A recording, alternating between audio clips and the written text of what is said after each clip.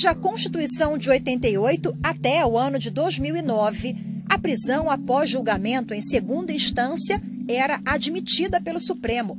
Há sete anos, no julgamento do habeas corpus 84078, a Corte alterou jurisprudência e, desde 2009, passou a vetar a possibilidade de prisão antes do esgotamento de todos os recursos. Em fevereiro deste ano, no julgamento do habeas corpus 126292, mais uma mudança. O tribunal voltou a adotar a posição anterior à que admitia a prisão. Em outubro, no julgamento em caráter liminar das AD6, ações declaratórias de constitucionalidade 43 e 44, a Corte manteve a mesma posição, a que autoriza a execução da pena antes do trânsito em julgado, Quais as implicações dessa decisão? Ela ajuda ou piora o trabalho do judiciário? Ela viola direitos do acusado?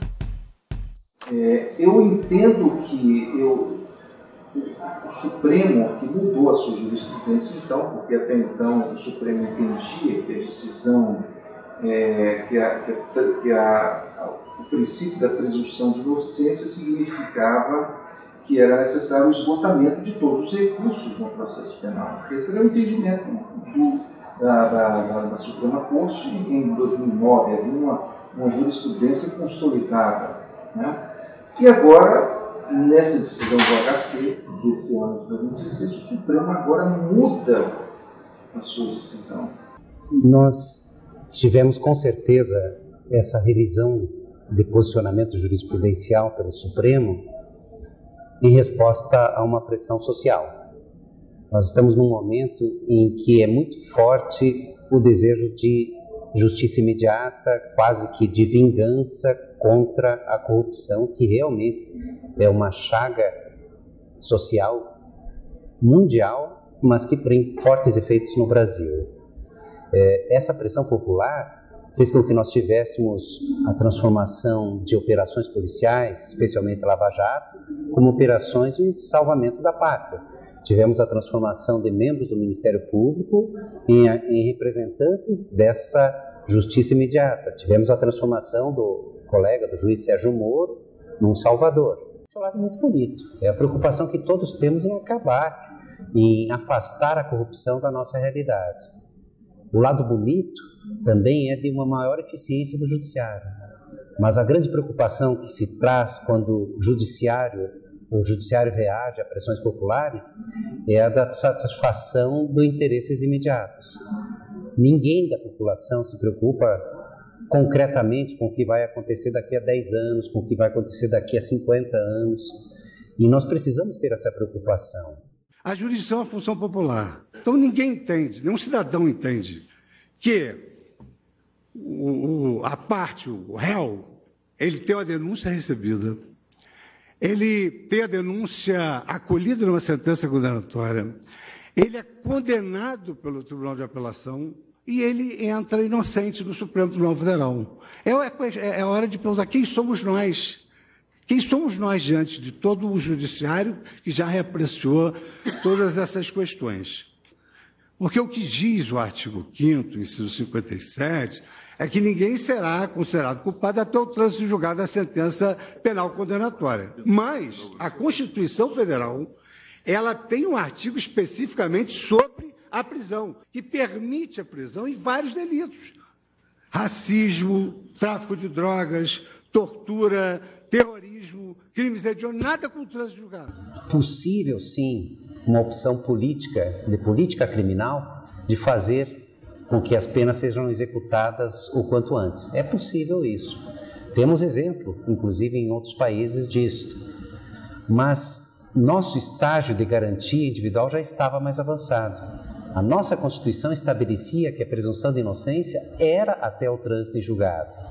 Ou seja, nós já tínhamos um nível de garantias maior do que a da maioria dos países. Isso representava uma eficiência menor, sim. Nós demorávamos mais para mandar alguém para a cadeia, mas nós garantíamos mais do que os outros países. Ninguém ficaria na cadeia um dia em que viesse depois o judiciário a dizer: olha, foi um engano, me desculpe. E quem conhece a realidade das nossas prisões sabe que uma noite na cadeia não tem reparação. O abuso sexual, o abuso financeiro, a ameaça de morte, a degradação que se passa numa noite da cadeia é, é, é algo inimaginável. Então, o que a sociedade quer como resposta imediata não é só a condenação definitiva antecipada. Ela quer que aconteça o fato e no dia seguinte a pessoa esteja presa. Mas em qualquer regime democrático, sabe que no sistema acusatório, a regra é a liberdade. A pessoa vai praticar um crime gravíssimo hoje e amanhã vai estar sim comprando pão na padaria, do teu lado, porque ela é presumidamente inocente. Quando ela for condenada, ela pode passar 50 anos na cadeia se forem praticados crimes sucessivos. Mas quando for condenada. Confesso que eu não consigo é, me posicionar conforme a maioria do Supremo se posicionou. Eu fico com a minoria. E, para tanto, eu lembro o ministro Celso de Mello, durante o julgamento, numa das suas falas, que ele disse: Eu não consigo ler o artigo 5 da Constituição, quando fala do princípio da inocência, da forma como se pretende ler a maioria que se formou. Então, o princípio da inocência diz que toda pessoa é presumidamente inocente até que se opere o trânsito em julgado da sentença penal condenatória. Na realidade, a gente tem uma, uma divergência aqui entre a redação dada na nossa Constituição e a redação dada pelo Pacto de São José da Costa Rica, que também somos signatários. Então, pela interpretação do tratado, né, do Pacto de São José da Costa Rica, a decisão do Supremo estaria absolutamente correta. Por quê? Porque ele fala que o réu é presumido inocente até que se prove a sua culpa. E nesse caso, a comprovação da culpa é dada realmente com uma decisão em segunda instância, onde já se exerceu o duplo grau de jurisdição. Mas a nossa Constituição Federal ela foi mais limitada em relação a isso. Ela não usou a expressão comprovação da culpa, mas sim a expressão é, trânsito em julgado da sentença penal condenatória. Então, por causa dessa expressão usada na Constituição, que pode é, que é configurada até como uma cláusula pétrea, porque é um direito do se torna um direito fundamental do réu, o que acontece é que a decisão do Supremo parece ir de encontro a ela. Mas, aparentemente, é, o que o Supremo quis foi fazer uma análise do grau de reforma das decisões, quer dizer, ele viu que muitas das vezes a decisão não é mais alterada, o que ocorre é uma alteração eventual na pena ou no regime de cumprimento e dá uma valorização maior para a efetividade. Nós não temos estatística. Este é o grande mal do direito. Quem faz direito normalmente faz direito justamente porque não gosta de matemática. E digo isso tranquilidade até porque eu sou engenheiro civil. Eu gosto de matemática também. Nós não temos estatística. Aí, de repente, com o máximo respeito, vem o Procurador-Geral da República, Janot, que é muito preparado, mas se baseando numa pesquisa sobre recurso especial extraordinário, dizer que é baixíssimo o índice de reforma. Eu trabalho no STJ constantemente e digo a vocês que eu reformo muito, não por recurso especial, mas por habeas corpus. E esse índice ninguém tem. Então não dá para levantar a quantidade de processos que eu anulo, que eu diminuo penas, que eu tiro pessoas da cadeia por recurso especial. Assim como o Supremo em recurso extraordinário. Realmente vai ser baixíssimo recurso especial extraordinário. Talvez chegue naquele índice que ele tem e foi levantado. Mas em habeas corpus, eu digo a vocês que por semana, pelo menos 10 a 20 julgamentos, eu anulo processos. A minha turma anula processos. Pessoas que estão na cadeia saem da cadeia há uma, uma certa inquietude nessa visão do Supremo Tribunal Federal. Porque me parece, nesse particular, nós estamos aí com o ministro Marco Aurélio, com a ministra Rosa Weber e o ministro Lewandowski, quando afirma que o texto constitucional fala, é, é, é muito claro isso. E aí o ministro Barroso, quando fala de que, é, na verdade, esse, esse, dispositivo constitucional não se trata de uma regra, sim de um princípio, que é necessário fazer a ponderação de princípios, entre a proteção punitiva do Estado e o direito de liberdade? entendo que, que a, a prisão é uma das medidas assim mais, vamos dizer assim, mais, mais drásticas né, no, no, no âmbito da sociedade. Mas, é, no exemplo de uma pessoa que foi presa injustamente, injustamente ela pode né, entrar com uma ação de indenização contra o Estado, entendeu? Nada, nada que vá macular a imagem dela. O que você quer mostrar aqui é que não se fecha a porta do Supremo Tribunal Federal. O Supremo Tribunal jamais se recusará a enfrentar qualquer questão de restrição à liberdade individual, porque essa é uma questão constitucional por força, mas é organizar o acesso né, a esse clamor de que o Supremo virá e virá mesmo né, em, em auxílio ao cidadão brasileiro naquilo que não houver é, respaldo legal ou constitucional desses juízes de primeiro e segundo grau. Então, é, em suma, eu não vejo como essa, essa nova decisão agora da, da Suprema Corte é, possa engendrar um, um, esse entendimento de que a partir de agora seria uma, uma, um prestígio a mais da primeira e da segunda instância, das instâncias chamadas originárias. Eu não vejo dessa forma. Eu, eu, significa que é, então, da forma como estava antes, ou seja, que os recursos chegassem, é, na medida que os recursos eram levados ao STJ e ao Supremo Tribunal Federal, isso pode produzir um entendimento de que o juiz de primeiro grau e o Tribunal de Justiça ou Tribunal Regional Federal, então não tinha importância dentro. A questão, no nosso entendimento, não se trata disso. Né? Tem sim importância, mas que né, um acusado criminal ainda pode levar para as instâncias recursais superiores, STJ e Supremo, ainda discussões né, sobre as questões afetas a um processo criminal. Valoriza sim a primeira instância, sem dúvida, a primeira e a segunda instância, a jurisdição de fato. Mas é novamente uma compreensão do que é mais importante. Mais importante é valorizar o juiz que está conhecendo os fatos ou mais importante é eu evitar que vá para a cadeia um inocente? Criminalmente falando, os pobres, negros, a galera que já sofre, tipo, discriminação social, racial, de gênero, sempre vai ser menos favorecido nesse sentido. E, e, essa galera sempre são eles que também não têm condição financeira para poder recorrer, para poder fazer alguma coisa dentro da justiça. Tratando sobre essa condenação de segunda instância, vai favorecer. Vai favorecer, não, vai ser. O que era para ser justiça vai acabar sendo mais justo, né? Então, quem não tem condições de recorrer até a última instância vai, vai sentir, vamos dizer assim, aquela igualdade, né? A partir do momento que quem poderia recorrer até a última instância não vai poder recorrer mais, aí sim vai, vai, ter, vai ser justo. É a política de favorecimento dos ricos, né? Quem tem dinheiro não fica preso, quem não tem dinheiro fica preso. Porque eu acho que a justi... quem tem, pode pagar um bom advogado, a nossa, a nossa legislação é bem aberta, ela é interpretativa. Um bom advogado que interpreta bem ele vai defender melhor seu, o seu cliente. O que não tem que não tem nem advogado, não sabe interpretar, ele vai ficar preso mais rápido e mais tempo. Então, se você tem um político que tem dinheiro, ele não vai ficar numa cela comum, igual os outros, um, sei lá, um mendigo de rua que, que matou alguém ou que assaltou alguém. Karina, você acredita que esse entendimento vai diminuir a sensação de impunidade? Para a sociedade, sim. Veja que nós temos Luiz Estevão, que a mídia já divulgou aí aos quatro ventos, que entrou com não sei quantos recursos para tentar protelar a sua prisão e alcançar a prescrição de crimes pelos quais ele já havia sido condenado. E quando vem essa decisão do Supremo Tribunal Federal, Luiz Estevão é preso. Então dá uma sensação de que a justiça está sendo feita. A ordem de prender o senador caçado é da Justiça Federal de São Paulo e veio depois que o Supremo Tribunal Federal decidiu que uma pessoa pode ser presa se a condenação for mantida em julgamento de segunda instância. Como alguns crimes prescreveram, a pena caiu para 26 anos. Nesses 10 anos, os advogados não pararam de apresentar recursos. Foram 34 até aqui.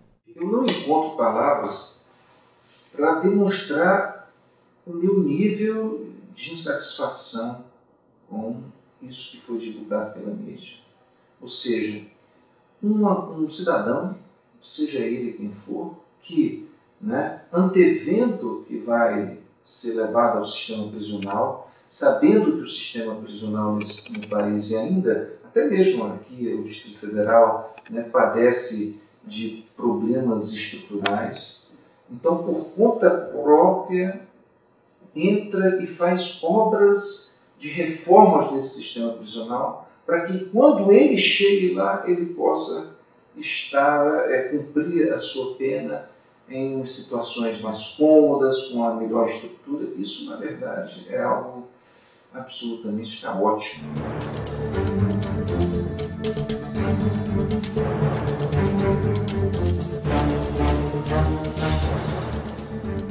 Pedreiros, arquiteta, operários entrando e saindo por meses. Caminhões, 50 caçambas, 14 toneladas de cimento, 1.500 litros de tinta.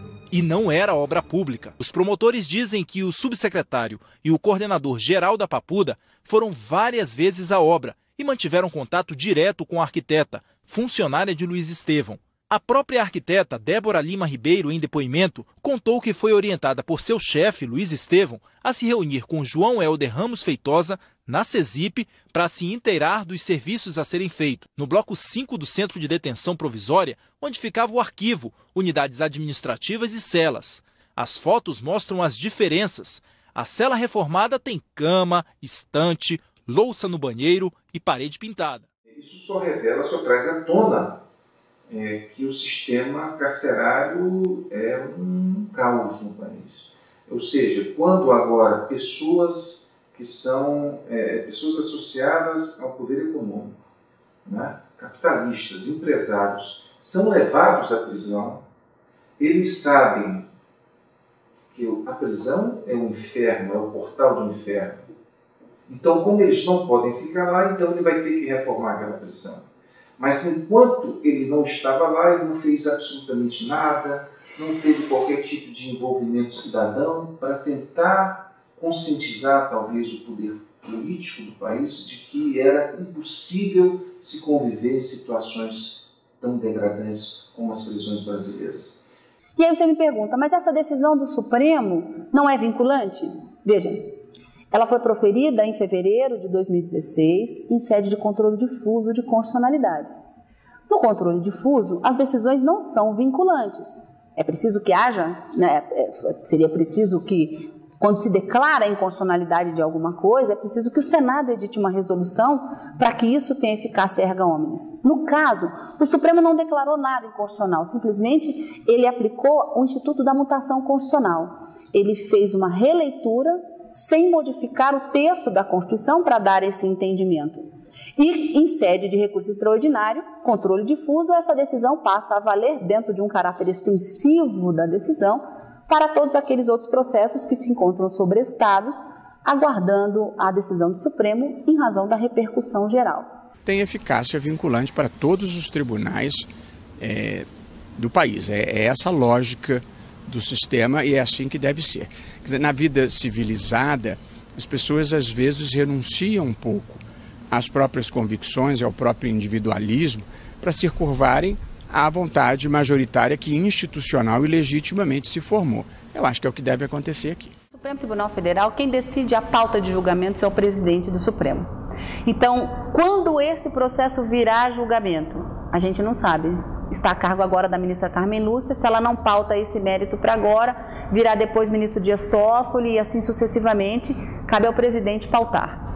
Eu entendo que se essa matéria, acredito eu, não é? Que se essa matéria retornar ao plenário com a composição atual que nós temos hoje, o placar não muda. O entendimento vai prevalecer. A decisão foi confirmada por seis votos a quatro. A votação foi virtual, por computador. A ministra Rosa Weber foi a única que não se manifestou. Agora, para um réu ir para a cadeia, basta que um tribunal de justiça ou tribunal regional federal confirme a sentença de um juiz de primeira instância. Mais de 3 mil condenados poderão ir para a cadeia, segundo o levantamento da Fundação Getúlio Vargas. A Associação dos Magistrados Brasileiros apoiou a decisão do Supremo. Lembrou que hoje existe a possibilidade de muitos recursos antes da prisão e que isso tem impedido a ação efetiva do Judiciário. O Procurador-Geral da República concordou. Disse que não tinha sentido um condenado em segunda instância só cumprir a pena depois de esgotado o último dos recursos. Não é assim na Inglaterra, não é assim na França, não é assim nos Estados Unidos, né? não é assim na Alemanha. E essa era uma solução, no meu entendimento, solução jabuticaba. Né? Só tinha aqui. Esse julgamento, em segunda instância, é um salto de qualidade para o sistema penal é, no Brasil. A hora que você conhece o cheiro da cadeia, muitas das nossas percepções mudam. Muito da ideia dessa pressão popular de vamos condenar os corruptos, porque o corrupto é o outro, não sou eu. Porque o bandido é o outro, não sou eu. A hora que você está nessa situação, a hora que você tem um parente nessa situação e você vai na cadeia, a percepção muda por completo. E processo é justiça, mas é justiça não só no seu fim, é justiça no seu meio. Nós não podemos pensar em justiça a qualquer custo, porque senão nós voltamos à Idade Média, ao processo inquisitório, em que se torturavam bruxas para confessar. E sob tortura, a pessoa confessa qualquer coisa. Confessa onde está o dinheiro do crime, confessa que praticou o crime, confessa até o que não fez. O processo não é uma burocracia, o processo é uma garantia necessária para que só se mande para a cadeia quem se tenha certeza razoável de ter praticado um crime.